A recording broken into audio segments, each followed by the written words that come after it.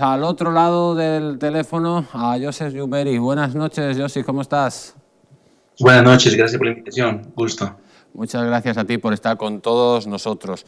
Em, hablábamos ya la, anterior semana de, bueno, de la situación que se está viviendo con el coronavirus. Donald Trump ya ha dicho que habrá consecuencias serias contra China si se descubre que han echado de forma deliberada el virus a la población y también nos hablaste de que había una cláusula en ese famoso acuerdo comercial de que si había una pandemia no se cumpliría eh, el acuerdo. ¿Estamos viviendo en estos momentos una guerra abierta, económica sobre todo, más que biológica, entre China y Estados Unidos? Sí, absolutamente. Eh, las guerras se pelean en varias diferentes dimensiones, ¿no? Hay la dimensión económica, la dimensión política, ah, la, dimensión informática. Ah, hay que acordar lo que dijo el famoso uh, estratega militar Karl Karl von Clausewitz, que dijo que la guerra es simplemente la política por otros medios. Y después eh, los revolucionarios como Vladimir Lenin dicen que la política es nada más que la guerra por otros medios. Entonces hay una relación vinculada entre estas dimensiones. Con China eh, definitivamente estamos en una guerra económica, estamos en una guerra informática, estamos en una guerra política. Ah, no estamos en una guerra convencional, en una guerra entre militares y, si Dios quiere no vamos a llegar a ese punto, pero se están calentando las cosas y yo creo que es plenamente cierto decir que estamos en una guerra con China. En esa guerra con China eh, estamos hablando que España, al tener un gobierno socialcomunista en donde hay miembros controlados directamente por otra dictadura comunista como la es la venezolana, eh, vemos que, que, España, en vez de situarse con las democracias occidentales y con Estados Unidos, se está ladeando al lado del Partido Comunista Chino, ¿no? Sí, mira, yo creo que la forma de que podemos analizar esto de una forma geopolítica es China tiene dos principales aliados en el mundo para hacer este proyecto, lo que ellos llaman el mundo multipolar. Esos dos aliados son Rusia y son Irán.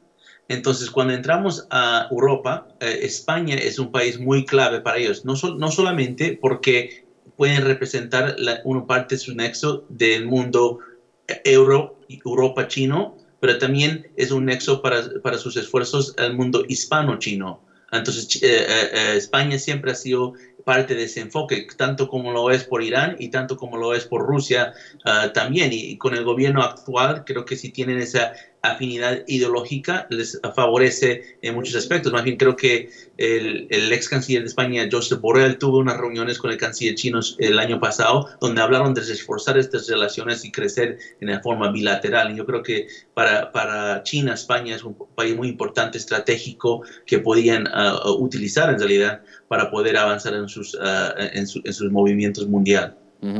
Eh, España, la crisis que va a venir, están hablando el FMI que mejor la caída del PIB es de un 15%. ¿Vendría luego China, después del desastre económico que hubiera aquí en España, como salvadora del país? ¿Y esto significaría que España se convertiría en una colonia de China de facto?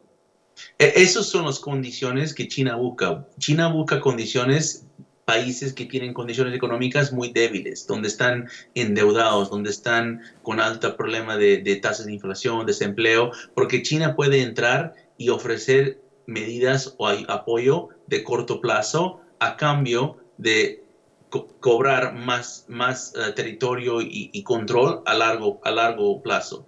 Entonces yo creo que eso es lo que China hizo en muchos países en África, en muchos países en América Latina eh, y está haciendo también eso en, países de Europa. Entonces yo creo que esas condiciones, cuando un país empieza a debilitarse de una forma económica, se pone eh, vulnerable a este tipo de explotación de China. Ah, y, China entra con una buena retórica, dice que no van a poner condiciones a sus préstamos, dicen que van a poner tasas de interés muy bajos, tratan de ser socio comercial, pero esa sociedad comercial viene a un costo y ese costo mayormente es un costo de donde un país pierde su soberanía, pierde su habilidad de control su destino y su futuro porque las deudas crecen a niveles que nunca, muchos países nunca van a poder pagarlo. Entonces China hace eso como una estrategia de depredación económica para controlar ciertos territorios, para tener más acceso a nivel mundial. E, esto va, cuadra dentro su estrategia de, de dominio, imperialismo global. Eh, usted dice que mm, España es el campo de batalla, lógicamente, de esta guerra comercial